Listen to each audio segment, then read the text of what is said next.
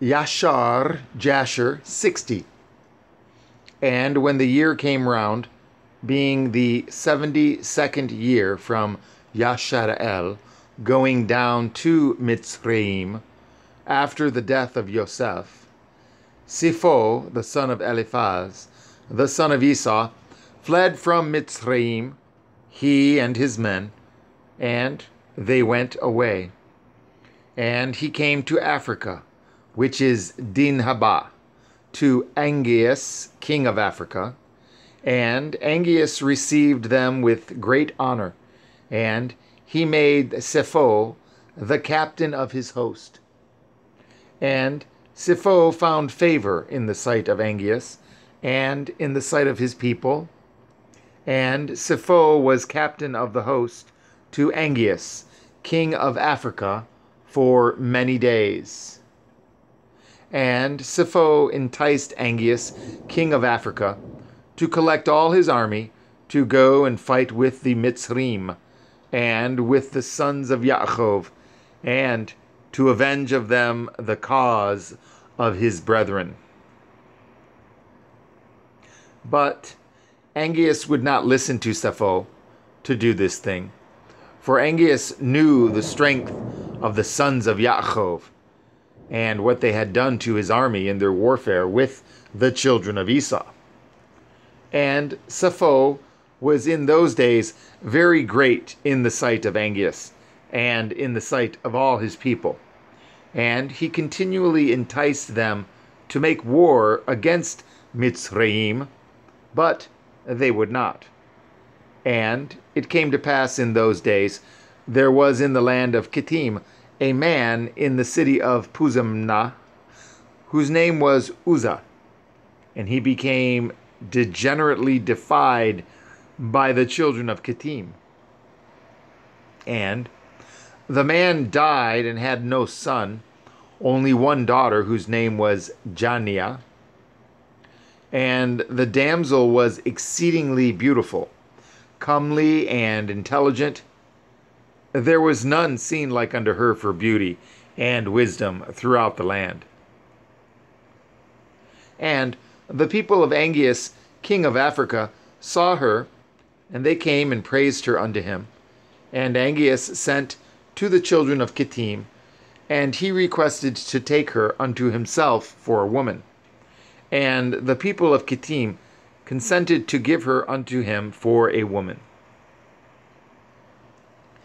And when the messengers of Angeas were going forth from the land of Kittim to take their journey, behold, the messengers of Turnus, king of Bibentu, came unto Kittim, for Turnus king of Bibentu, also sent his messengers to request Jania for him, to take unto himself for a woman.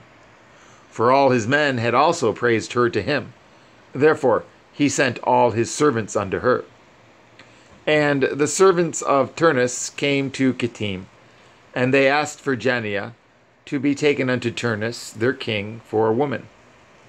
And the people of Kittim said unto them, we cannot give her, because Angeas, king of Africa, desired her to take her unto him for a woman before you came, and that we should give her unto him. And now, therefore, we cannot do this thing to deprive Angeas of the damsel in order to give her unto Turnus. For we are greatly afraid of Angeas, lest he come in battle against us and destroy us and Turnus, your master, will not be able to deliver us from his hand. And when the messengers of Turnus heard all the words of the children of Kittim, they turned back to their master and told him all the words of the children of Kittim. And the children of Kittim sent a memorial to Angeas, saying, Behold, Turnus has sent for Jania to take her unto him for a woman, and thus have we answered him. And we heard that he was collected his whole army to go to war against you. Rather, and we heard that he has collected his whole army to go to war against you. and he intends to pass by the road of Sardunia to fight against your brother Lucus. And after that, he will come to fight against you. And Angeas heard the words of the children of Kittim, which they sent to him in the record, and his anger was kindled, and he rose up and assembled his whole army, and came through the islands of the sea, the road to Sardunia, unto his brother Lucus, king of Sardunia. And Niblos, the son of Lucus, heard that his uncle Angeas was coming, and he went out to meet him with a heavy army. And he kissed him and embraced him.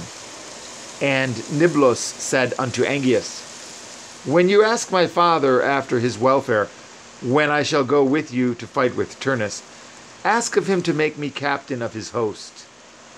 And Angeas did so, and he came unto his brother, and his brother came to meet him. And he asked him after his welfare. And Angeas asked his brother Lucus after his welfare, and to make his son Niblos captain of his host. And Lucus did so, and Angeas and his brother Lucus rose up, and they went toward Turnus to battle. And there was with them a great army and a heavy people. And he came in ships, and they came into the province of Ashtorash.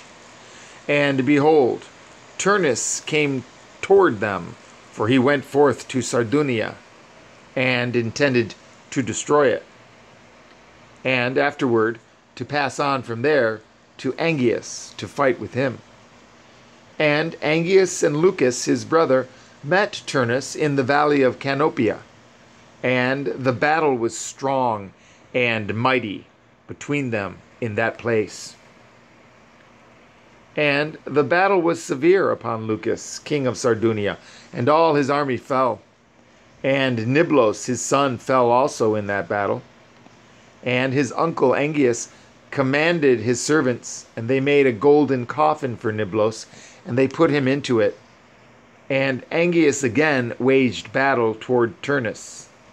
And Angeas was stronger than he, and he slew him. And he smote all his people with the edge of the sword. And Angeas avenged the cause of Niblos, his brother's son, and the cause of the army of his brother Lucus.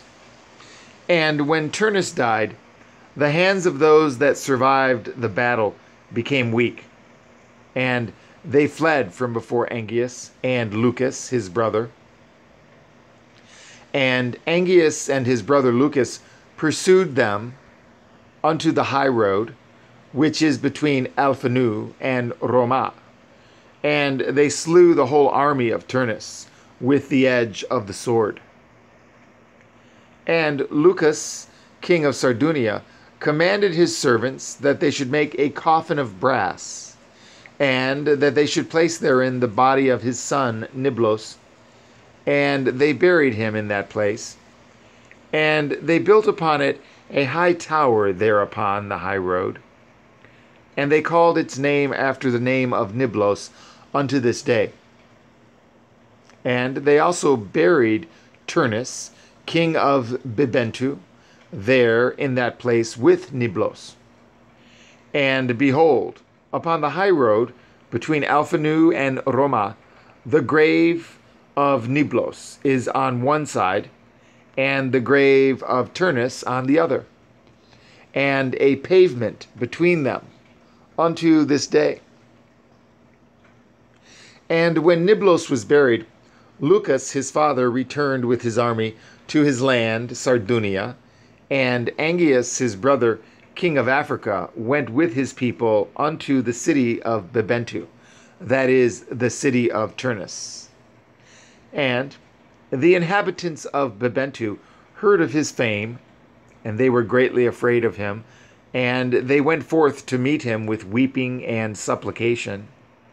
And the inhabitants of Bibentu entreated of Angeas not to slay them nor destroy their city. and he did so. For Bibentu was in those days reckoned as one of the cities of the children of Kittim. Therefore, he did not destroy the city. But from that day forward, the troops of the king of Africa would go to Kittim to spoil and plunder it.